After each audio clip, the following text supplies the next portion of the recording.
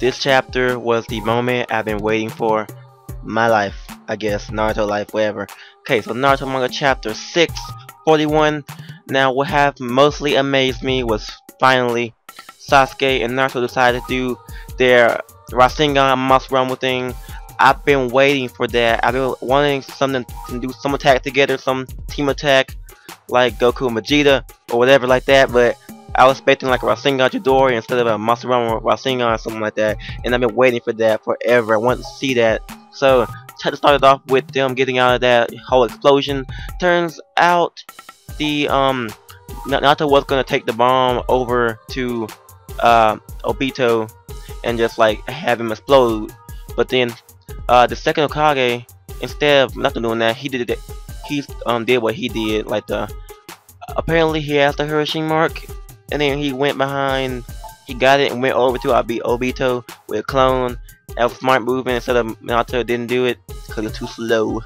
Yeah. So apparently Naruto was like, "You copied my dad," and it, was all fun. He's like, "Oh, your dad copying me," and it was all weird. And Sasuke is being so cocky again by you know trying to trying to uh Amaterasu him and then of course he can sense the chakra in his eye and just like deflected it instantly. So and then after that uh Madara and you know Har Har uh, Hashirama almost said Hiroshima but Hashirama uh, they finally started they finally started Hashirama went in the sage mode with his giant little I don't know what it was was it a snake or something? I don't know what it was I don't know what kind of creature he has but some kind of snake or something. While Madara went into Susanoo he's finally in sage mode. We finally get to see the battle that happened in the, in the past in the future. Probably gonna be a full battle hoping so. Everybody else in the background scared like this is how our predecessors used to fight. And then they all wanted to help out because you know it'd be kind of it'd be kind of like you know they feel kind of useless because they can't help out because their their power is way way out of their range but they think that um Shikamaru and them everybody thinks that a little power can help out in some way.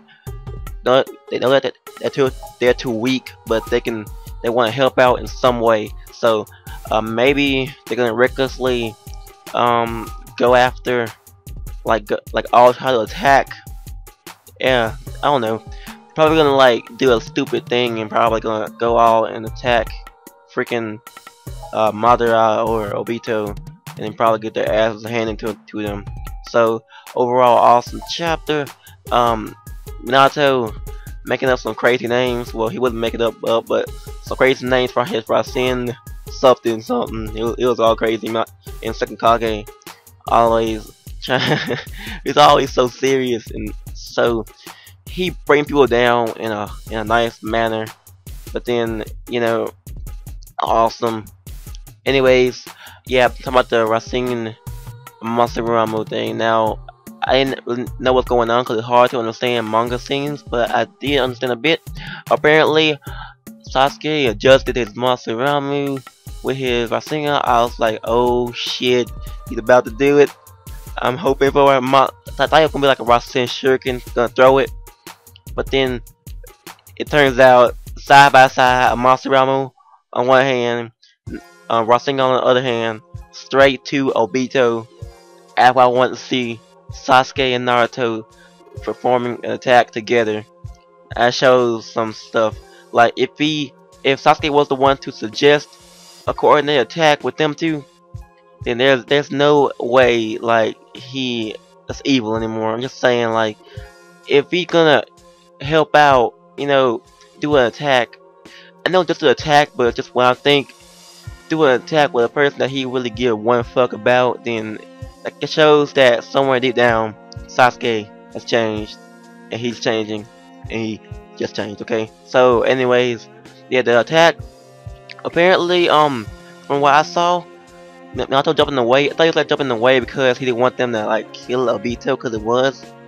Um, they want him to kill Obito, but it turns out that um, what's the uh, the Seto Kage he put a Hiroshima mark on Naruto's arm, and then they hit the arm, and I guess they were still on there, and then second Kage, I don't know what happened, but like the second Kage basically just like uh, teleported there, got behind Obito, so he can like stop stop him from, you know, uh, trying to uh, trying to like evade the attack, and then bam, it hit him, and they're all happy and everything.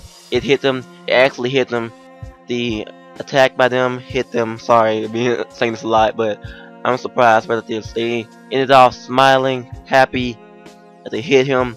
I want to see how much damage it did to him, and uh, if he probably took any damage. So, what do you think, guys? Do you probably think that he probably uh, evaded it somehow?